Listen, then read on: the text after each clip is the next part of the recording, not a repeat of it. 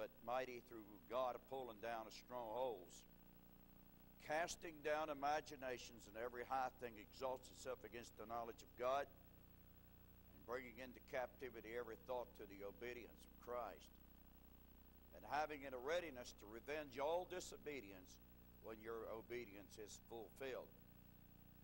Dear Heavenly Father, open our understanding today, illuminate us and enlighten us that we can prepare for the things ahead, what you have for us, that we don't miss the blessings that you have for us, and that we may be able to head off any problems that may rest uh, ahead of us. Lord, today open our understanding, and illuminate us, and enlighten us, that we may be able to present this message in an understandable way. And Lord, we thank you for your grace and your mercy and your peace. You're such a great God. And I know you're able to keep us in the days ahead just the way you're keeping us now. We pray in Jesus' name. Amen. now, I want to be speaking about preparing today for tomorrow. What's going to determine what's going to happen to you tomorrow depends a whole lot on what's happening to you today. You can change your whole circumstance. You can change your whole situations. What you do with the past determines what you will do with the future. If you can't let loose of the past, you won't be able to face the future. Someone's past marks where they have been, but not where they're going what you did is not what God is looking for after it has been at Calvary. That's what Calvary is for, is to release you of your past. If, if Calvary didn't release you of your past, then you don't understand Calvary. Calvary is a place of death. Calvary is a place where everything that was done, whether intentional or unintentional, in the wrong way, has to be dealt with. Our future depends largely on what we decide to do with it. And I want to show you something here. We have the, the spirit part of an individual, the, whether you're right, wrong, good, or evil, we all have a spiritual part. There is a spirit that's governor in your life. Either the Spirit of God or the Spirit of error is, is, is guiding you. And then we have what we call the carnal. And I don't believe this pen's doing a very good job writing. Maybe I can get another. The carnal part of an individual. So with that carnal, uh, you see, when you, when you are spiritually minded, you are on the positive side. So we're just going to use that. When you're on, uh, when you're on the spiritual side, you're on the positive side.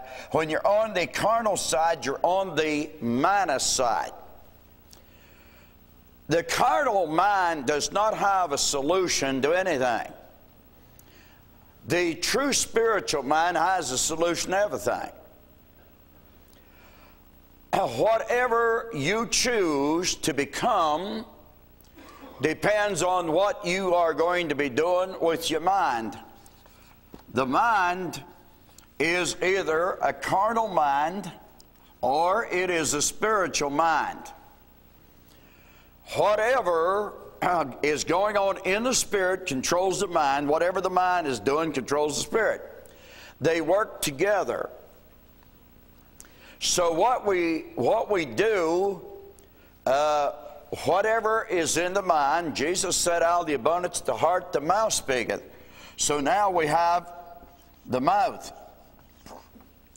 Whatever goes on, if you're carnally minded, if you have a carnal nature, your mouth will speak negative things. If you have a spiritual mind, your mouth will speak positive things. Everything God does is positive, even if it is a warning. God has a solution to problems. your mouth determines your future. Your mouth only kicks in gear by what's on your mind and in your heart. This is the heart of man here. The heart of man is either filled with carnality or it's filled with spirituality. When you, when you make a decision to speak and you speak out of turn, then what you're doing is exposing carnality. what is going to happen to you in the future, the real you, is whether you're spiritually minded or carnally minded. A carnally minded person centers his or her thinking around themselves. A spiritual minded person centers around others. A spiritually minded person is not interested in hearing dirty jokes, they don't interest him. But the carnal mind is, is pretty much capable of handling that unless you're religion. Spirituality and religion are not necessarily the same thing. You can be ever so religious, and that doesn't mean you are Christian. You may do everything right, and you may be as carnal as you can be. You may be ever so religious and be carnally minded. You may be ever so sure you're right and base everything you do on carnal. You don't know the difference. if I take the Word of God and interpret it with the carnal mind, therefore I become, I will interpret this word with reasoning. Because the spiritual things don't make sense to the carnal mind. So I began to try to interpret the Word of God with my carnal mind. and what carnal people do, even in religious circles, they begin to look at all the negative things in the scriptures. They begin to, to doom you, judge you, criticize you, find fault with you. They have a problem hearing correctly because they only hear what they want to hear and misunderstand what they don't want to hear. The carnally minded person may be ever so clothed with humility and his own way of thinking but inside he's carnal. that carnal man is reasoning all the time. He's afraid of the future, although he may not say it, he's afraid of the future. The spiritual minded person does not have to be afraid of the future because the future is in the hands of his God. The carnal mind has the future in his hands. we decide what the future is going to hold. We're afraid because we have the reins. But the future for the spiritual mind does not matter what tomorrow holds because it's in the hands of Almighty God and you have a connection. The Spirit of man and the Spirit of God are functioning together. The carnal mind is enmity against God, so the Spirit of the living God cannot deal with the carnal mind, and he's afraid of the future. He can't trust God with his future because he has been in control, bringing him on the negative side. The spiritual mind is always positive. The spiritual mind is the one that develops faith. The carnal mind is the one that develops doubt. When the spiritual mind is in full operation, the Spirit of the living God is functioning and operating and leading, and faith begins to build up. That's why the Bible says here, casting down imaginations. Every time that spiritual minded person begins to think a carnal thought, immediately he has to crucify that.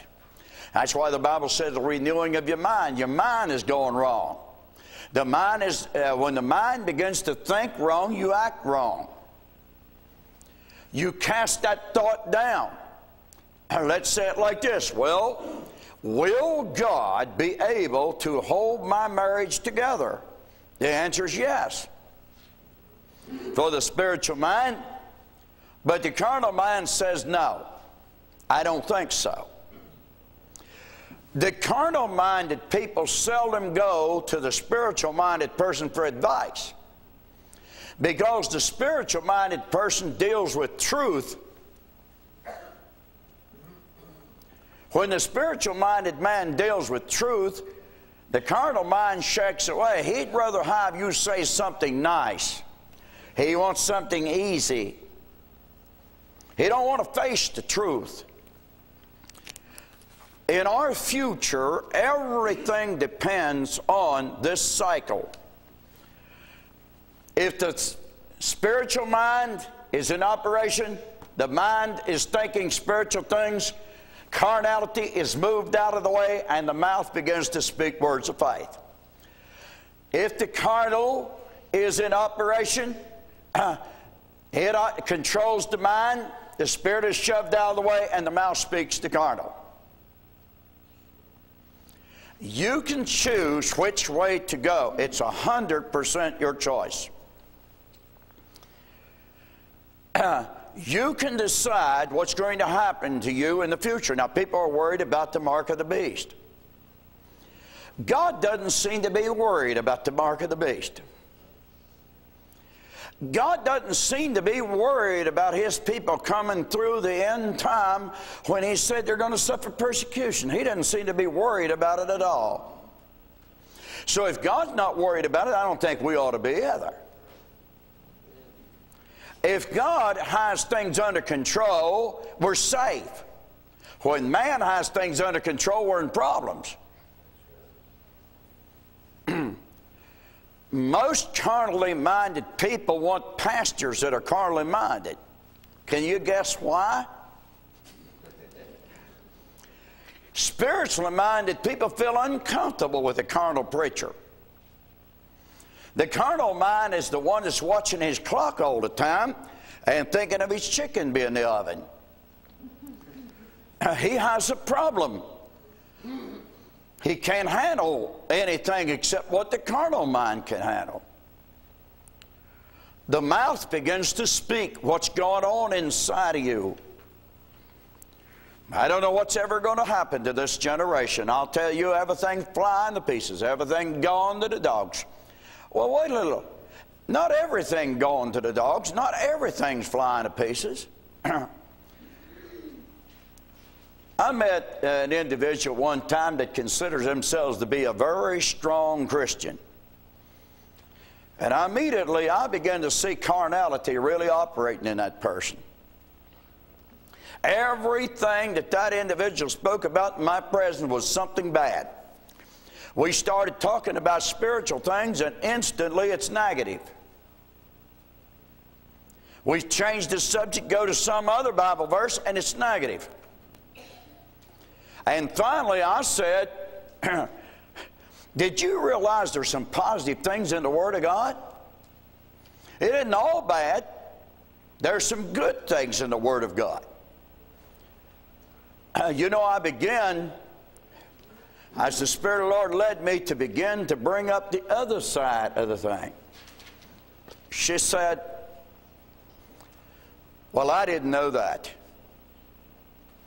Well, I didn't know that. And I keep speaking. Well, I didn't know that. See, she was taught, you know, taught to be negative. Folks, it's just as simple to be positive as it is negative. Let me show you the difference between positive and negative. It's raining. We, most of us, are pretty glad it's raining. Uh, I hope there's nobody in this building that's not glad it's raining. But we're glad it's raining. Uh, the negative person may say something like this Well, it probably won't rain very much. It's been so dry, it probably just rained just enough, just settled dust. The positive man says, Well, my God is in control. He may just dump us a whole bunch of rain out here yet before this thing's all said and done. See, there is expectation, future. For the spiritual minded person has an expected future. The carnal man is afraid of the future because he's in control. Nobody can operate a home when he's in control because when he's in control, he's out of control. When a natural minded, the word carnal actually means natural minded. When a natural minded carnal person is operating a home, he's going to fail. It's just not going to work. But a spiritual minded man has a home that's going to work. if you sisters that have men that's not living the way they ought to be living, I'd start asking the Lord to penetrate them with the Spirit let His Spirit convict them and bring them into a spiritual relationship. It has to be, the heart has to be changed. a dog has a dog heart. So, what will that dog do with his heart? He'll dig up a bone. He seems to relish dog food. Now, since I don't have a dog heart, I'm not interested. You could not whip my appetite by bringing me the most blessed advertised dog food in America. I'm not interested in the dog food. You could bring me magazines in here and say, now look, you can subscribe to this magazine. In fact the matter is, we'll give you a free subscription for this magazine. I'm not interested in those negative, uh, magazines. It doesn't bother me at all. I'm not interested in them. There's just certain things I'm not interested in. I'm not even interested in the free subscription to some of the spiritual magazines because they may get my spirit messed up. But the carnal mind does not have a future. The spiritual mind has a future. Now, let's go over the points for today. Preparing today for tomorrow. Now, this generation seems to have two problems in the men at least is that they have a problem with their backs and they have a problem with their hearts. The, uh, there was a certain surgeon said he operated on some present day men and found that they didn't have a heart and they didn't have a backbone.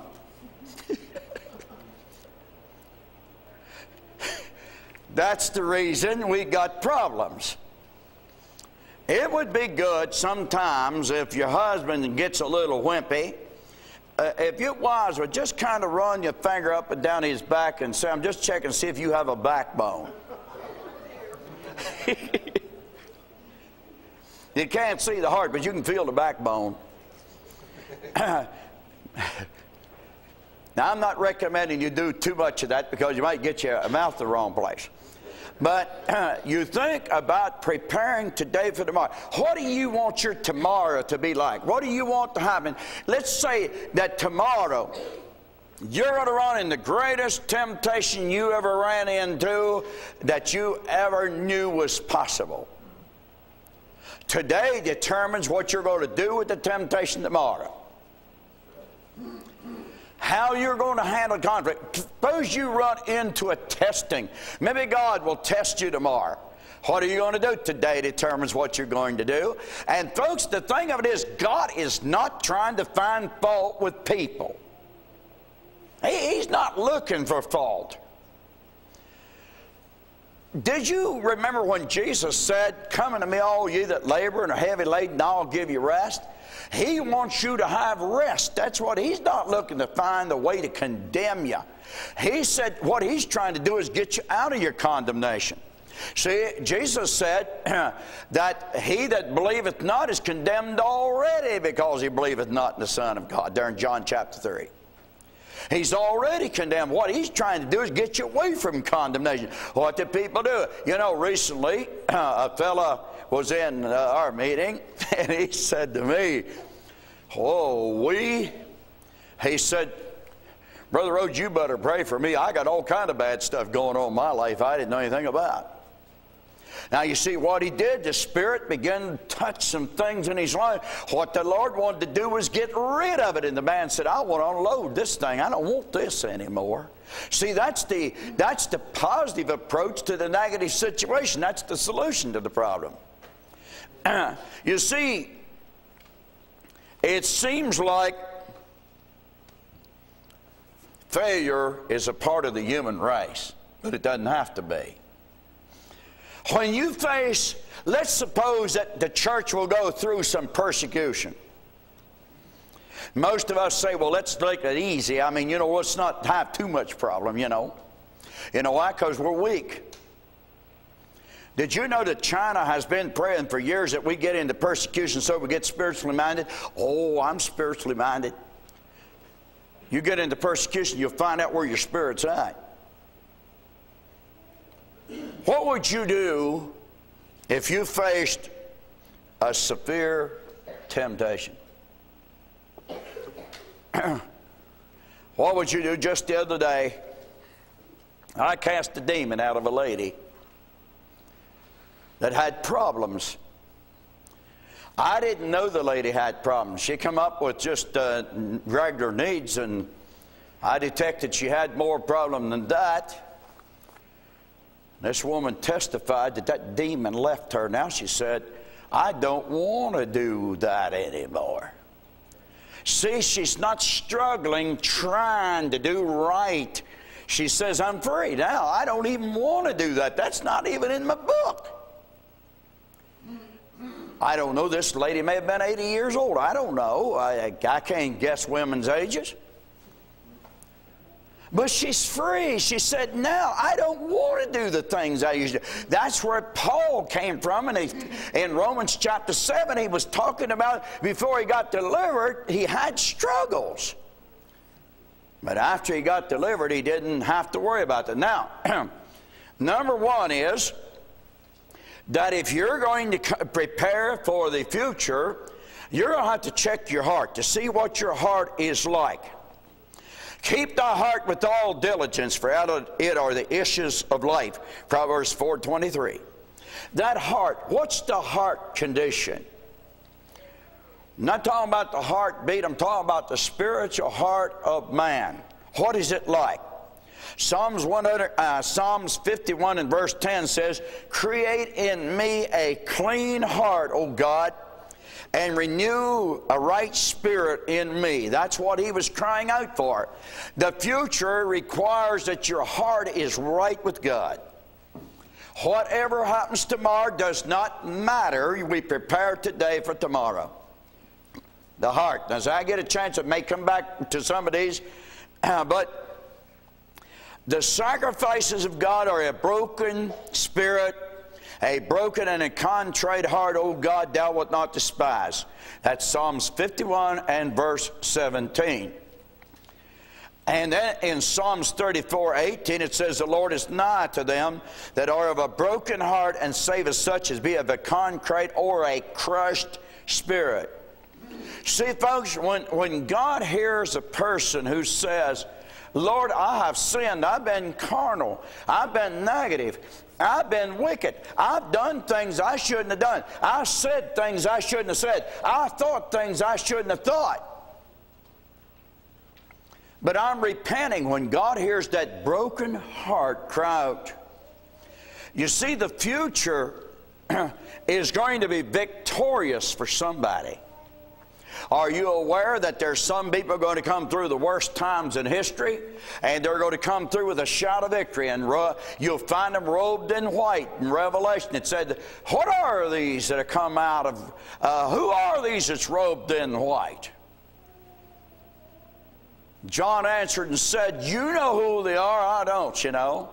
And he said, These are they that came out of great tribulation and has washed their robes and made them white in the blood of the Lamb. Folks, the devil will not control your future.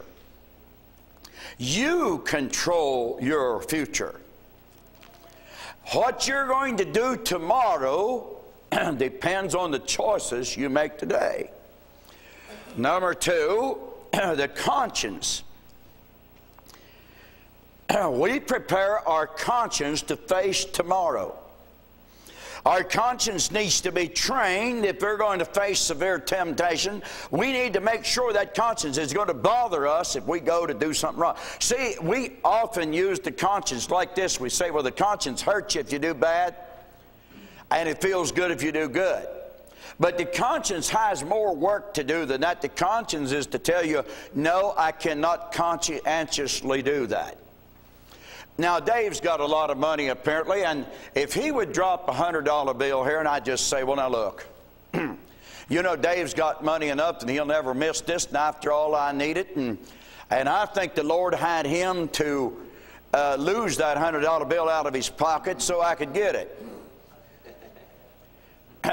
but you see, if my, if my spiritual mind is working right, I began to think, no, that's not right. I can't keep that. It's not mine.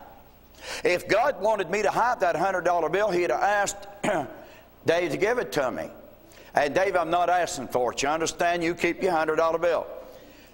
But the thing of it is, I'm saying that we make excuses because the carnal mind begins to reason. Well, maybe God had that happen so I can get it. but that's not the way it always works. Now, so you train your conscience that that conscience says, no, no, we're not going to do that. The conscience says, no, we're not going to do that because it's been trained correctly. But you see, the Bible speaks about those whose conscience is seared with a hot iron, and it says, uh, speaking lies and hypocrisy, having their conscience seared or branded with the hot iron. That's 1 Timothy 4 2. And if you think about it, actually, your conscience is branded. It's branded. That means now that you are officially capable of doing wrong and feel good about it. It it's not going to bother you anymore because now the carnal is in control and everything starts getting easy because there's no longer that trigger that sounds. It's no longer the alarm going off. But we can do it. That's hardness of heart. Now, the, the conscience must be trained to be honest. The conscience must be trained to, to be pure. Uh, Titus 1.15 says, Unto the pure all things are pure, but the defiled and unbelieving is nothing pure, but even their minds and conscience is defiled. Their mind is defiled. They just, all they think about is perversion. Do you know that the Bible says in Romans chapter 12 that you can have your mind renewed by the renewing of your mind that you may prove that which is the good and acceptable and perfect will of God? See, God wants to get your mind changed. Change your mind. he wants your conscience to be so active that all evil looks exceedingly wrong. Let's say the stone slinger. Uh, you see, I have told people, you've heard me say this before, they talk about the Stone Age being years ago. No, the Stone Age is now. This is when people are throwing stones. They're criticizing each other. You remember the woman that was brought to Jesus caught in adultery.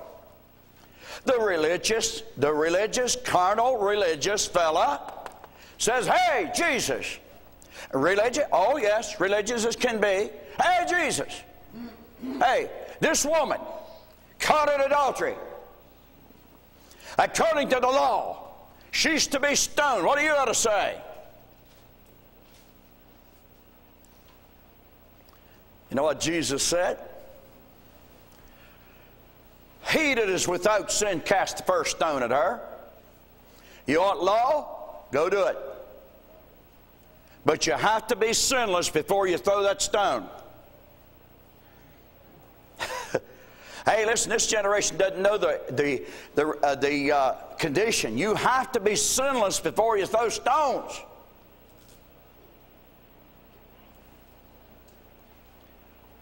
Jesus writes on the ground. I don't know what he wrote, but he wrote something. I don't think he's trying to write on the ground to place information there. I think what he was doing is giving these fellows some time to think things over. After a while, he gets up and turns around. The woman's standing all by herself out there. And he said, Woman, where's your accusers? She said, I don't have any. He said, Neither do I confuse. Neither do I accuse you. Go and sin no more. Quit the sinning business. What he, what he was showing that under the new dispensation, he's not going to kill you, he's change you. He's, he's not interested in killing you, he's interested in changing you. He's not interested in seeing if he can harm you, he's interested in seeing if he can do you good. I bet that woman never committed adultery from that day forward. I bet she never did. I believe she'd have been afraid to because her conscience would have got her then after the Lord gave her such deliverance. And if you want that stone throwing job, it's in John chapter 8. now, number three is the mouth. Let the words of my mouth and the meditation of my heart be acceptable in thy sight, O Lord, my strength and my redeemer. What's going to happen to me tomorrow and how I'm going to prepare tomorrow is what I'm saying today. I'll probably have arthritis because my family all has arthritis. You see, that's preparing yourself to get arthritis. I don't know what that's like because the doctor told me when you're 50 years old, you'll have a heart attack. Or was it 40? 40 years old, you'll have a heart attack because the condition of my body was calling for a heart attack. So I get ready for a heart attack. Boy, I mean, my 40th birthday came and I said, now I'm going to have a heart attack. Isn't that stupid? You know why? Because it's carnal minded. If I'd have been spiritual minded, I said, oh no, I don't think I'm going to take that. Well, then I didn't have a heart attack, I had a heart failure. Almost died. The doctor said, You're not going to make it this time, I don't think, but I did. I was preparing for trouble in the wrong way. Now, it's good to prepare. What are you going to do? What are you going to do with your mouth in the future? What are you going to do with it? Because what you say will depend largely on what's going to happen to you in the future. How you say it. He that keepeth his mouth keepeth his life, but he that opens wide his lips shall have destruction. Proverbs chapter 13, verse 3. What are you going to do with your mouth today depends on what's going to happen to you tomorrow. If you say, well, nothing good ever happens to me, nobody ever give me anything. Recently, a fellow walked up to me and handed me a watch. I didn't know the value of the watch at all. He just handed it to me and said, Lord said, give you this. Well, I took it. I said, thank you, and you know, so forth. And I said, I don't know if this watch is valuable or what it's got. I don't know what I had.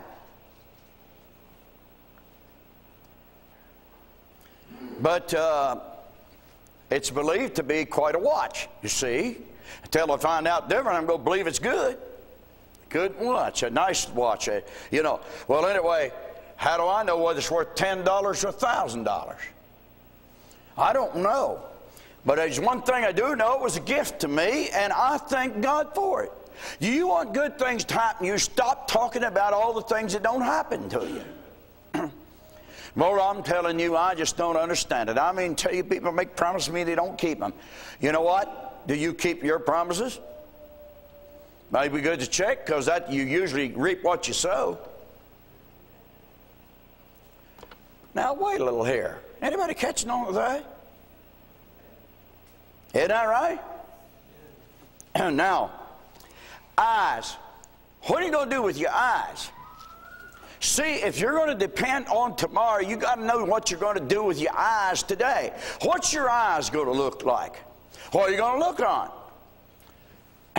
you focus your eyes on everybody and say, boy, you know, how do you look at people? How do you look at your circumstances? How do you see your boss?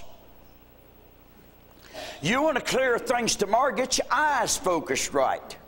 The carnal eye sees everything in the negative. The spiritual man sees everything in the positive. It'll be better. It'll be better. It's coming better. I may not have the best job now, but it's getting better. Words. My tomorrow is going to depend. Let's say it like this I'm afraid. How many times we use the word I'm afraid? One day Esther went to close the window in the house and said, I'm closing, it's dry. We need rain. And she says, I better shut the window when we're gone because I'm afraid it's going to rain. She stopped and she said, I am not afraid it's going to rain.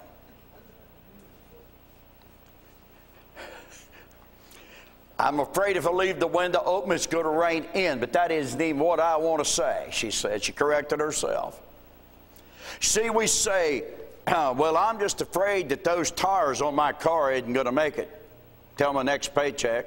Be just like me to have a wreck, too. It'd be just like me to blow a tire out there and run me in the ditch. You prepare for the future by what you say. I mean, you just got all kind of things in your. You see, that carnally minded person is full of garbage. You say, well, am I a Christian if I talk like that? I suggest you quit talking like that. Because the future, if you begin to prepare today to get your eyes to see things the way God sees them, God sees things different than we see them. Do you think God sees in the future and saying, now wait a little, I don't know about this thing. I didn't realize we'd go run into all that problem. God doesn't worry about the future, so why should you? Keep your eyes focused on the one who promised to get you through. He said, I will never leave you and I'll never forsake you. Never. And folks, today you've got to get your eyes focused on Jesus. Get it off of your problems. Get your eyes. Uh, you know, the psalmist said, I'll set no wicked thing before mine eyes. He's, and you see, if I'm going to prepare to tomorrow, I'm not going to be sitting here looking at some kind of uh, stuff that is going to corrupt my mind. Psalms 101, verse 3 says, I will set no wicked thing before mine eyes. I hate the work of them that turn aside. It shall not cleave to me. I like the word cleave there. This stuff is not going to cleave to me. I'm not going to watch that stuff on television. It's going to cleave to me. Now you're going to watch it. I'm not going to pervert my mind. I'm not going to see the wrong thing. And you bring a pornography magazine in there and say, hey, this is a good one. It isn't good to me.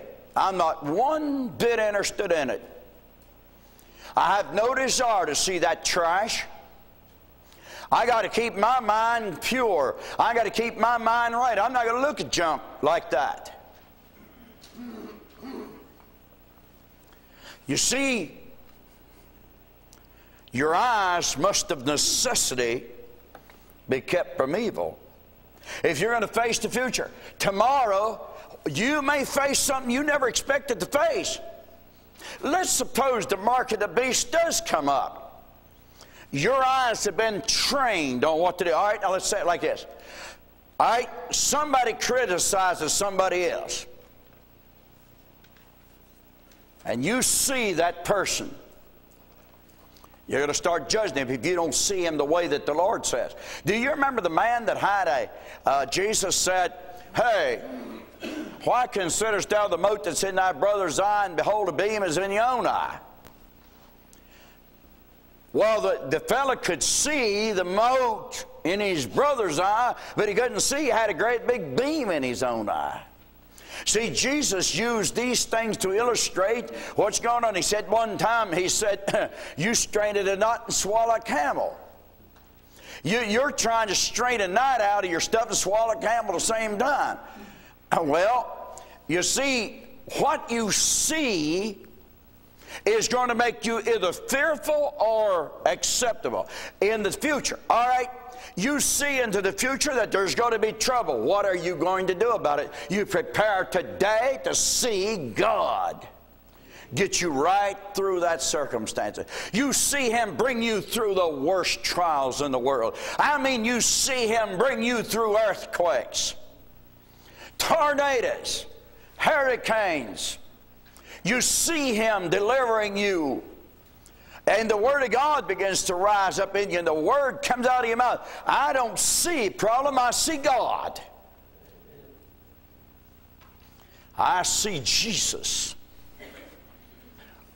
When Stephen was being stoned, he looked up and said, I see Jesus. See, in Matthew 7, you have that account there about the, the mote in the brother's eye, but considers not the beam in an own eye. And Jesus said to the disciples, He said in Matthew 13, 16, But blessed are your eyes, for they see. Your eyes see. Your eyes are seeing the right thing. You've got your eyes trained. Now you look at the fields and you'll see the fields are white all ready to harvest. I don't see anything. I don't see anything. That's the reason a lot of people never get in their ministry because they never see anything. You, you got to get your eyes focused on the things that you want. Get a vision of what you want tomorrow. What do you want your atmosphere to be tomorrow? You get a vision of it today, and tomorrow it will become that thing. Start thinking the positive way. Ah, my marriage is falling to pieces. Can you get a picture of it turning around?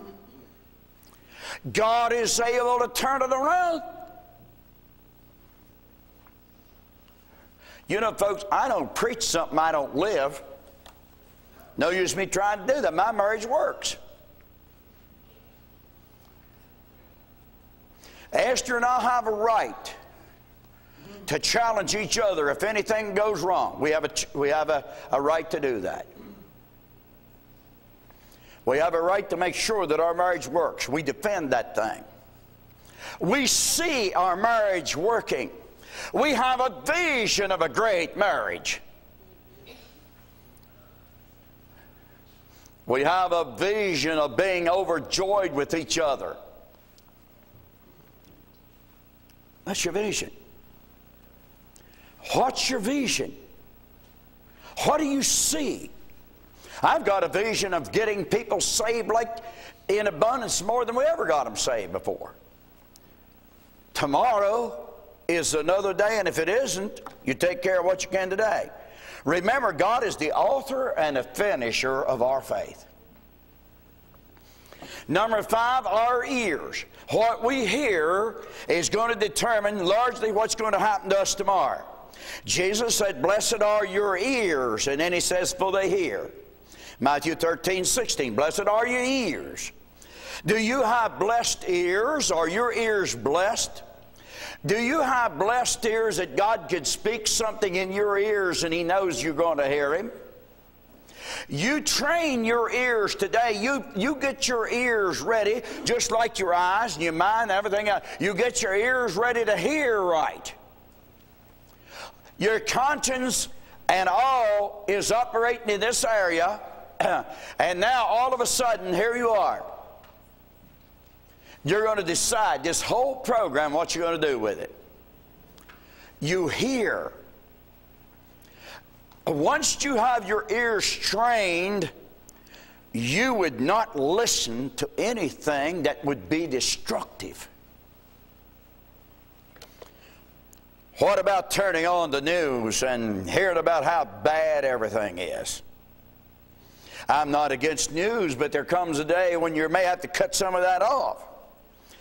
In Acts chapter 2, 37, we have some people that heard the gospel and they were pricked in their hearts and said to Peter and the rest of the apostles, Men and brethren, what shall we do? Romans, I mean, Acts chapter 2 and verse 37. Go a little further, and you'll find in chapter 7 another group of people that heard the preaching of the gospel. And look what they said in verse 54. When they heard these things, they were cut to the heart and they gnashed on him with their teeth. One group of people, what's the difference? Right here's the difference. One received the spiritual end of it, the other was carnal. The moment that message came in a negative form, one received it, the other rejected it. The carnal mind wants to get retaliation out. So the carnal mind says, let's retaliate. They started biting. Paul warned us not to bite and devour one another. You might be consumed to try that. You see, what our ears hear, what do we do with it? How do we judge when our ears hear things? What you hear today is going to depend what you're going to do tomorrow. You're going to have to get your ears trained to hear the right thing, your eyes to see the right thing, your mind to think the right thing, your conscience to operate correctly, and that'll take care of the future. The future is not what you need to worry about. The future is, if you're going to worry about anything, worry about worry. If you're going to worry about anything, worry about being carnally minded. Got to get away from that stuff. Get your thumb out of your mouth and start shouting victory instead of sucking your thumb and crying help. We may cry help to God, but one thing for sure, we're getting ready to get out of this mess. I expect the future to be a blessed future. I'm expecting that. Number six, what are you going to do with these hands? When you run into temptation, what are you going to do with your hands? What are you going to do with your hands when you, when you, the Lord says, I want you to go out and feed the hungry? Let me ask you a question. The Bible says lifting up holy hands. Could you lift your hands at any time? Are they holy enough you could lift your hands and make a request to God? See your hands Paul said, My hands have ministered not only to my needs, but the others as well. In Acts chapter 20 and verse 34.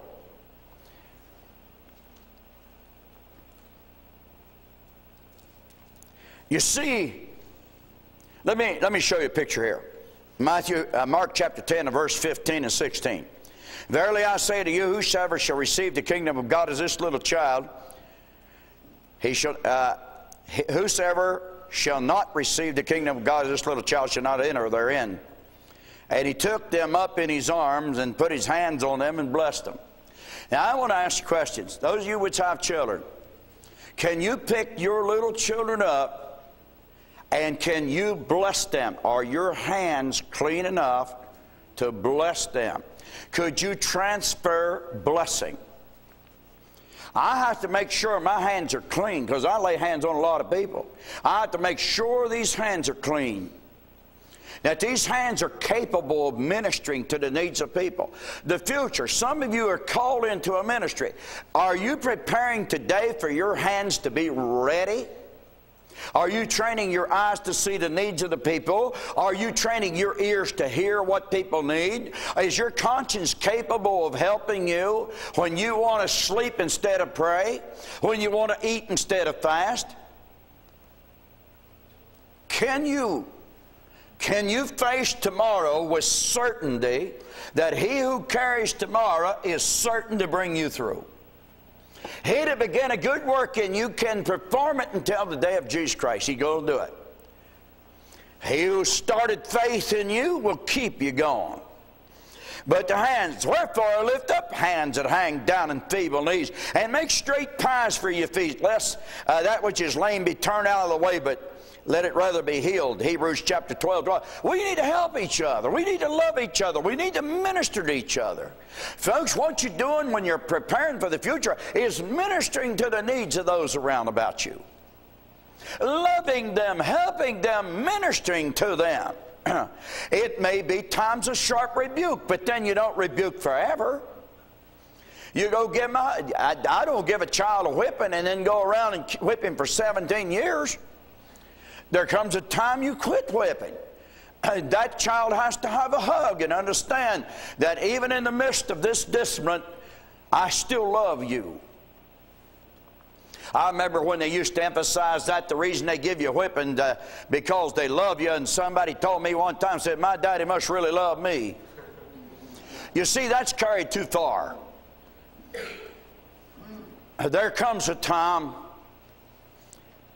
I remember a daddy one time was getting ready to spank his son for something, and I'm telling you, he, he pulled that son aside and said, Look, son, I don't want to spank you, but I'm going to have to. I told you not to do that. You understand? And the Bible says, Spare not the rod and spoil your child. And I'm not going to have you spoiled. And I'm going to give you a whip and I'm going to give you a good one so you can remember it. And he did. you know what? You know what that son said after that spanking? Thank you, Dad. Sure, I don't think this generation of people who take care of that kind of thing ever heard that kind of thing before because they haven't had very many people that will go to their son and get him a spanking like that. I've had people right in this church, I don't know if they're here this morning, but they, they've been here, come up to me and say, Brother Rodes, I just want to thank you personally for correcting us for going on and speaking out what the Lord has to say. Somebody just told me just recently in another state, Brother Rodes, I'm glad you got the stuff it takes to just go on and say what you mean to say, and we don't have to guess what you're saying. I don't know the person, never met him in my life. You know what? We're preparing for the future today. We're preparing right now for the future. What are you doing with your hands? Now let's go to feet. This is the seventh one. I, I, want you to notice what Luke chapter 1 and verse 79 says when uh, Zechariah was prophesying. Uh, here's what he said about his son. His son. He said, to give to light to them that sit in darkness and in the shadow of death to guide our feet in the ways of peace. You know what? This boy was going to be the forerunner of Christ and get everything lined up. His feet, your feet shod with a preparation of the gospel of peace. When you get ready to go out, your, your feet are shod with the preparation of the gospel of peace. Folks, the future is before us. Not a dark, gloomy future, but one with the Almighty God in charge. Walk on. Walk on. There may be a sea in front of us. The children of Israel came out of Egypt and now they face the Red Sea. There's no place to go. When those eyes was focused on the Lord, everything was okay. When their eyes was focused on their problems, they began to murmur and complain, and they got everybody else defiled. They got to hear on what somebody else got to say. You could have a root of bitterness sprinkle in this place in a hurry. If somebody would say, you know what? Brother Rodes has been making mistakes recently. When he's preaching, he keeps goofing up. I think something wrong with him. I've been noticing too. And boy, the first thing you know, you're carried off and you don't know where you're going, and everybody's hurt and everybody's paralyzed and everybody's pain. But you see, folks, what we need to do now is to get our feet ready to carry the glorious gospel to the end of the world. It says, Blessed are the feet, the beautiful feet of those that carry the gospel. Would you like to have those beautiful feet? Romans chapter 10, 15, and how shall they preach except they be sent? As it is written, how beautiful are the feet of them that preach the gospel of priests, that bring glad tidings of good things. Beloved, I'm going to tell you something. God is not against you, He's for you. I'm going to tell you something. You folks may think I'm kind of rough sometimes, but I'll tell you one thing. I'm for you more than you think you. I'm more for you. I'll tell you what, you meet me some night in your dreams about 2 o'clock in the morning and see whether I care about you.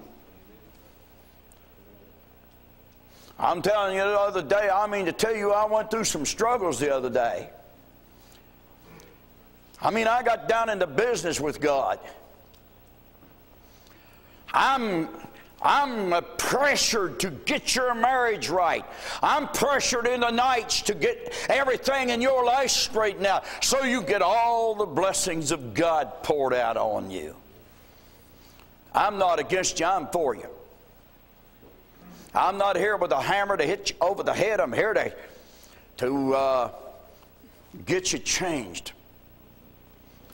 God is not here to get you down. He's here to lift you. I'm going to tell you what, folks, God wants you more because you're missing blessings. You're going to miss the future. You're going to miss the good things God's got for you out there. You're going to miss a lot of that. I mean, I'm blessed man. I'm telling you, I'm blessed. The other day, I went into an airport and I was amazed at the courtesy that people gave to me. I mean, I thought to myself, what in the world is going on? I mean, just courtesy. You see, the favor of God is on you. That's what. Get ready for the favor to come upon you. They'll walk up and give you a watch and say the Lord said give it to you. They'll walk up and give you a gold coin and say the Lord said give this to you. Somebody walks up and say the Lord told me to pay this and pay that. I'm not looking for those kind of things, but God is my provider and God got a right to give me whatever he wants to through anybody. I'm not out here with my hands outstretched and say, help me, will you? See, there's not clean hands when I'm here going, brothers and sisters, is it any way you all could help me, please? You know, I need a new suit. No, I don't need no more suits for right now. I've been blessed with suits. Go out to Indiana, and I was thinking, I wish I'd have taken one more suit along. Because, you know, everything. Guess what? Before the day was over, I had a new suit, a new shirt, and a new tie.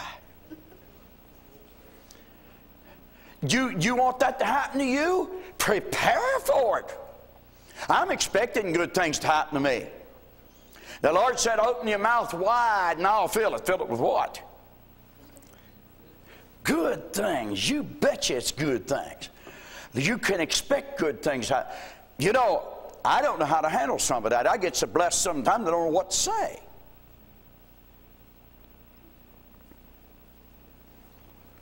These young people come up to you at places. I said young people, I'm talking about teenagers or below. Come up to you and say, I want to give this to your ministry. Boy, I'm going to tell you, that brings almost tears in my eyes. A young fellow came up one time and he said, Look, I got a little money here I'd like to give to your ministry. It was $200. What could he have done with $200? Young fellow came up to me the other day. I don't even think he's in the teens. I don't believe he is. He said, Brother Rodes, I want to give this to the ministry. $40. You want to say, no, you better keep that. No, you don't. You use that for seed. Pray God that He'll bless them. That's what you do. Little boy came to me one time and I knew he didn't have any money. He brought his piggy bank to me and said, I asked my daddy if I could give everything I got to you. And I started to say, well, maybe you better keep. And the Lord stopped me. He said, don't you stop that boy. I'm teaching him how to be a giver. That boy dumped that piggy bank stuff out, and I don't know, it was, it wasn't a whole lot of money, but I mean every penny counted. Folks, listen, those touch my heart.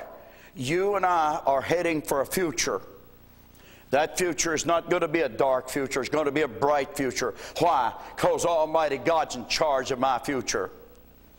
When I was in charge of it, I failed up. Any, anybody in here ever witnessed to that? When you was in charge of your life, you messed up. When God's in charge of your life, you make it, right?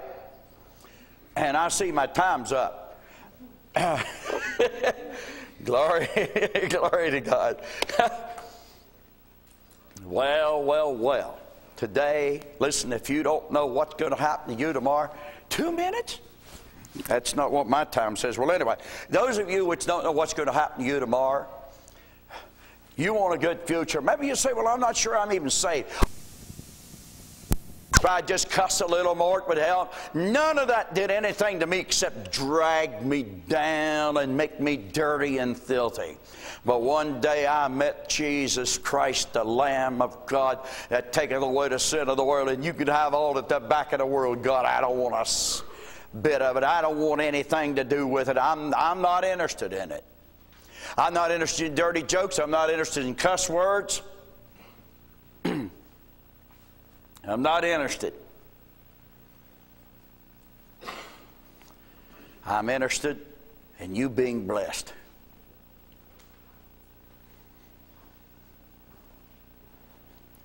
I want you to be blessed. I want you to face the future with certainty. No fear. No fear. Just faith. Step right out there. I've got my ears trained, got my eyes trained. I've got everything trained. Conscience is trained. My mind, you're not thinking that. Remember? We got a new mind. hey, you know, it's easy to cut bad thoughts off as it is thinking. Start thinking of something else. Whatsoever things are